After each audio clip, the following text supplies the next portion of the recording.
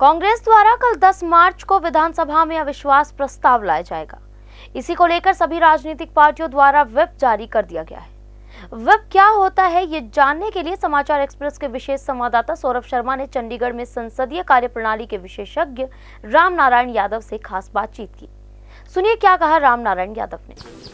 चंडीगढ़ में इस वक्त मेरे साथ मौजूद हैं राम नारायण यादव जी। राम नारायण यादव जी संसदीय कार्य प्रणाली के विशेषज्ञ हैं। आइए इनसे जानते हैं कि अविश्वास प्रस्ताव के बाद सभी राजनीतिक पार्टियों द्वारा विप जारी कर दिया गया है। क्या होता है ये विप? आइए इनसे जानेंगे। जी सर।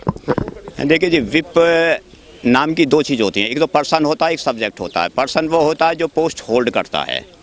इसको हम पार्लियामेंट्री लैंग्वेज में कह देते हैं कि आँख और कान पार्टी के, या दूसरा कह देते हैं कि झटके को सहने वाला इस शॉक एब्जॉर्वर।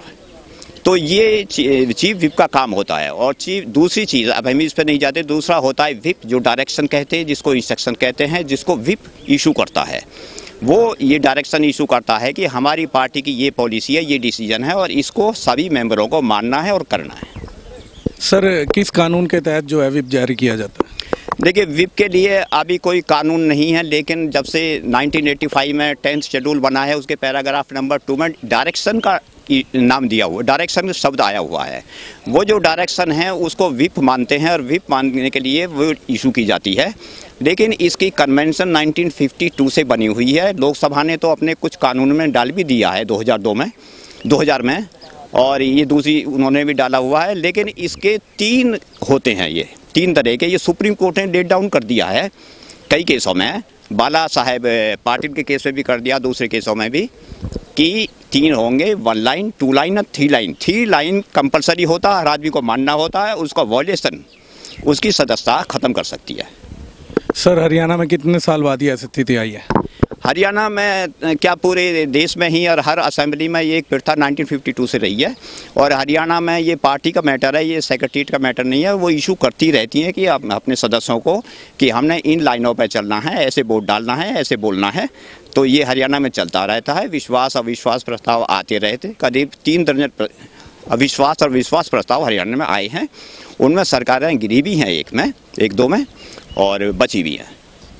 सर संसदीय कार्य प्रणाली के आप विशेषज्ञ हैं। सभी राजनीतिक पार्टियों को विप के बारे में और क्या कुछ बताना चाहेंगे आप? देखिए विप ये है कि संसदीय प्रणाली तो सारी ही बहुत ही कमाल की है।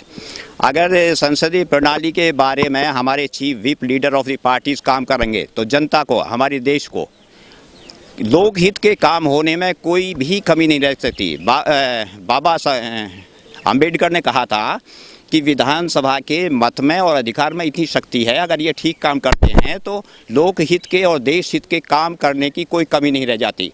इन्हें देखना ये है कि क्या हम जिस काम के लिए आए हैं, उस काम के लिए आप बोल रहे हैं, कर रहे हैं, और वो जनता तक पहुँच रहा नहीं पहुँच रहा। तो ये सारे विप जो है, वो एक हर चीज़ का व्यूज़ देखता है अपने लीडर का, ओपिनियन देखता है, स्टैंड देखता है, और अपने मेंबर को बताता है।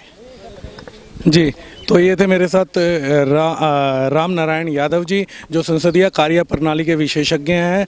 इन्होंने जो कुछ बताया वो सब आपने सुन लिया। 10 तारीख को अविश्वास प्रस्ताव जो है कांग्रेस द्वारा दिया जाएगा। इसी को लेकर सभी राजनीतिक पार्टियों ने जो है विप जारी किया था। विप क्या होता है ये आपको राम नारायण यादव जी ने बताया। कैमरामैन किशन के साथ सौरभ शर्मा समाचार एक्सप्रेस चंडीगढ़।